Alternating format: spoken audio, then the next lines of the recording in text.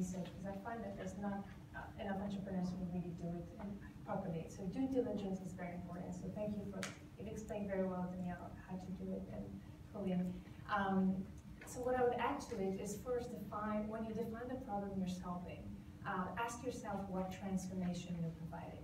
What is the stage A to the stage B? And that will really help you simplify your pitch. If you can explain instead of what you're selling, explain what benefit you're providing. So ask yourself, what is the transformation I'm providing? That's the first thing. And then uh, you need to understand your business before you start doing the market research and going all over the place. So that's the first place to start with. And what I call my the zone of genius is the place in the market that you can dominate, because that's the point. You need to dominate the market. And in order to dominate the market, you cannot sell to everybody. You have to choose your niche and find the niche where you're the most relevant and make a difference.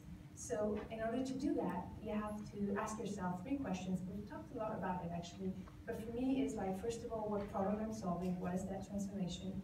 The second is who needs it? And you talked a lot about how to find your customer, so I'm not gonna go into details there. And third, who's gonna pay for it? So the intersection of these three elements are your zone of genius, and the market research is the one that's gonna help you find out how can I be unique and different in that zone.